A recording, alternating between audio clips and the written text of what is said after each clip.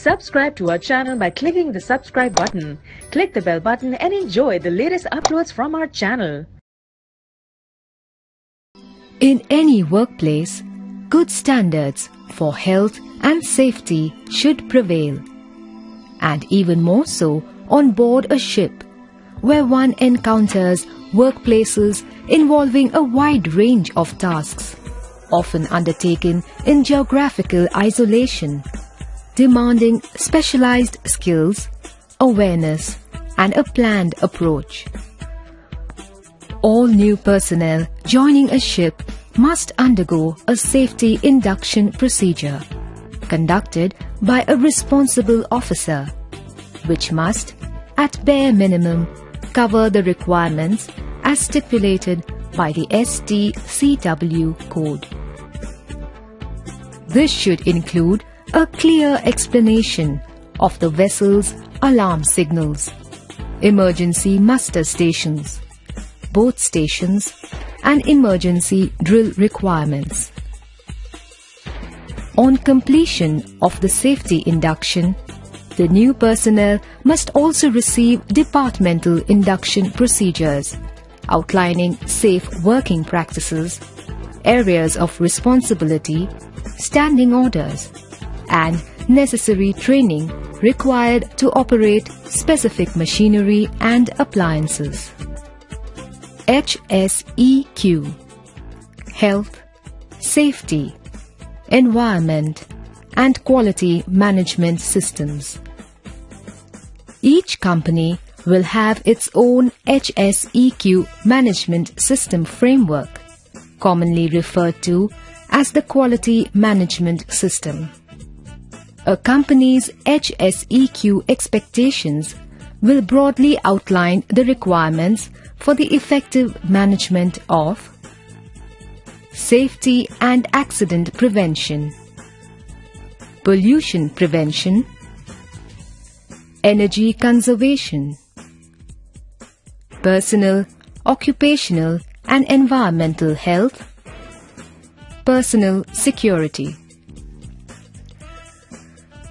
Good HSEQ performance can normally be achieved by making crew members aware that safety of shipmates depends on the action of the individual. Designating responsibilities amongst crew members to identify areas which pose potential safety hazards and ensure that the necessary corrective measures are taken by reducing emissions and discharges and using energy efficiently. This would also imply a close monitoring on waste produced and managed. The Risk Assessment Principle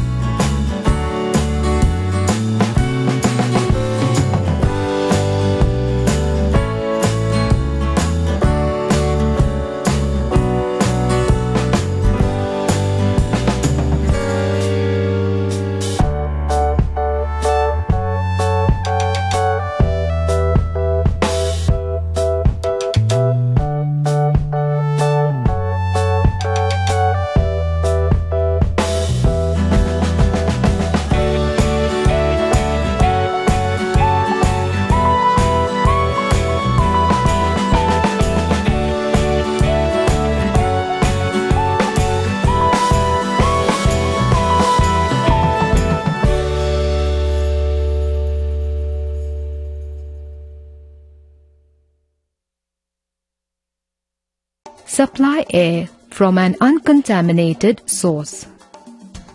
If in doubt, always use the breathing apparatus.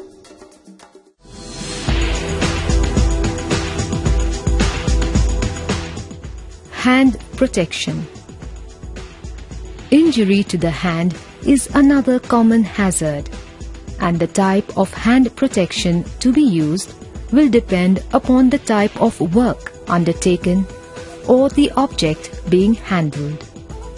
Leather gloves are used during routine maintenance work on board, whilst chemical resistant gloves are used for handling chemicals, acids and other harmful substances.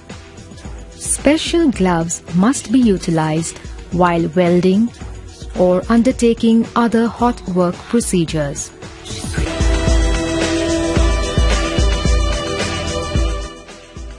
Foot protection. Casual footwear offers little protection on board a ship's working environment. Proper industrial footwear with slip-resistant soles and reinforced toe caps must always be used to minimize foot injury.